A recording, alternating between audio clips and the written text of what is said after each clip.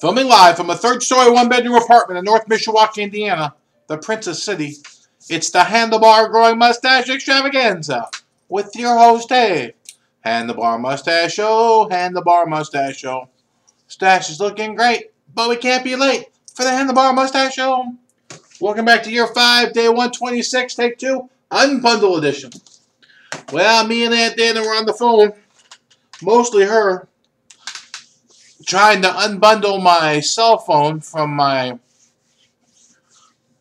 um, uh, internet and cable and home phone. So that took some doing, but now I can sign up for the plan I want. So I'm going to go spin class tomorrow at 7.30 and then um, go to the farmer's market they might have some Georgia peaches, which are inferior to Michigan peaches, but are still peaches. So that might be good. So I'll see what they got there, and then I'll stop by the AT&T store with the big plan. So we'll see, we'll see.